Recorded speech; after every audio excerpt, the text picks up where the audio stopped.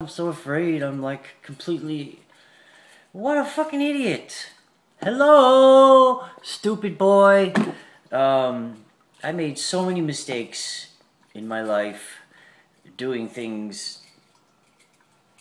You know, these people fucking swirled me around, boshed me on the fucking head over and over, threw me in jail. Uh, you know, I did so much stupid shit trying to hold my life together and the whole thing just spiraled out of control and and you know I had completely forgotten about God. I had completely forgotten, well not completely, I still prayed every night, but I just wasn't paying attention. You know, I wasn't uh, connected. I was thinking I could do it myself, you know?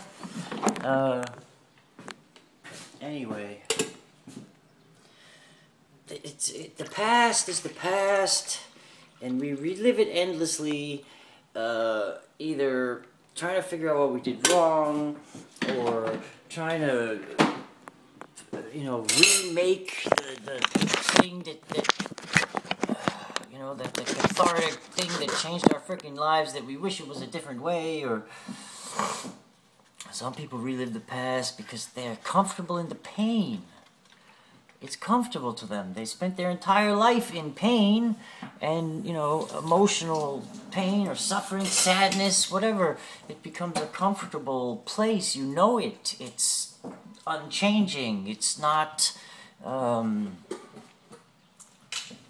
it's comfortable. You know what it is and where it is and the boundaries, and you know how to sit there and be in it and be of it. And it's a shame. It's terrible. Uh, me, I'm still reliving the past, trying to figure out what the fuck happened. You know, I, I get it now. There was a group of people that were interfering in my life in every freaking way possible. And, uh, come on, Max. I gotta close the window, baby. I know he hates that. He loves it when he can look out the window. Oh, my kitty cat. Here, I leave this one open. I'll leave that open for you. I'll see you later, Maxie. Don't run away. Let's hope he won't run away. He's pretty smart. He doesn't... So far, he hasn't disappeared. But you never know. He's still got his genitals. His testicles and everything. Okay, Petra's not here. I gotta go. So, God bless you all. Thanks for listening to my blah blah blah. And, uh...